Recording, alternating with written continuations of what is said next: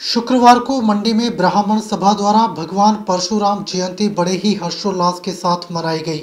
ब्राह्मण सभा द्वारा भगवान परशुराम जयंती के उपलक्ष्य में सुंदरकांड पाठ का आयोजन किया गया।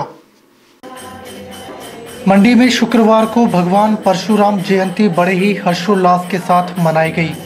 हिमाचल प्रदेश ब्राह्मण सभा के अतिरिक्त महासचिव बलबीर कुमार शर्मा ने बताया कि ब्राह्मण सभा द्वारा भगवान परशुराम जयंती के उपलक्ष्य में पूजन, हवन, यज्ञ व सुंदरकांड पाठ का आयोजन किया गया। उन्होंने कहा कि संस्कारों के अभाव में युवाओं में नशे की प्रवृत्ति पैदा हो रही है और इस प्रकार के आयोजनों का उद्देश्य युवाओं में संस्कार की भावना उत्पन्न करना है, ताकि समाज को नशा मुक्त बनाया जा सके। आज का दिवस बड़ा सौभाग्य का दिवस है।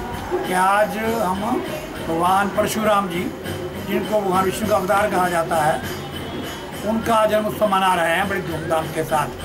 सुबह पहले पूजन हुआ हवन यज्ञ हुआ के बसंतकाल का पाठ चल रहा है इस वक्त। और इस आ, हम ये मानते हैं कि ये हमारा ये प्रयास था कि इस उत्सव को हम पूरे जनता में धूमधाम से मनाएँ।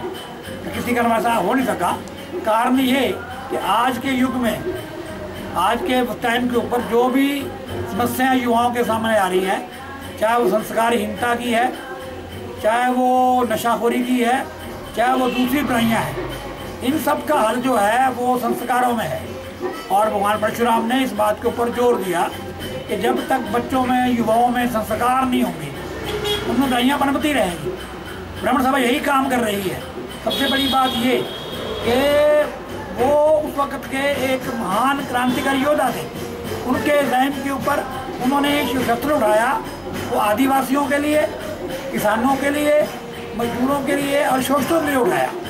जिनको उन्होंने मारा भी, उन लोगों को मारा, जो पाप में उलझे हुए थे, पाप में लगे हुए थे, समाज को तंग कर रहे थे, परेशान कर रहे थे।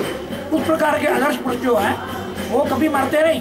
वो हमेशा हमारे मार्ग उठाते हैं और आज भी ब्राह्मण सभा भी उन्हीं बातों को लेकर के ही ये प्रयास कर रही है ये वर्तमान समाज है नशा मुक्त हो, युवाओं में संस्कार पड़े और एक एक प्रकार से राम राज्य का स्थापना यहाँ पर हो।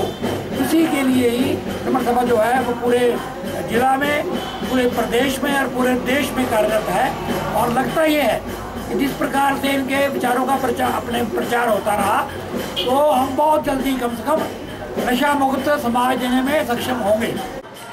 भगवान परशुराम जयंती के मौके पर श्रद्धालुओं में खासा उत्साह देखने को मिला और श्रद्धालुओं ने बड़े ही हर्षोल्लास से सुंदरकांड पाठ का श्रवण किया। ब्यूरो रिपोर्ट के चैनल।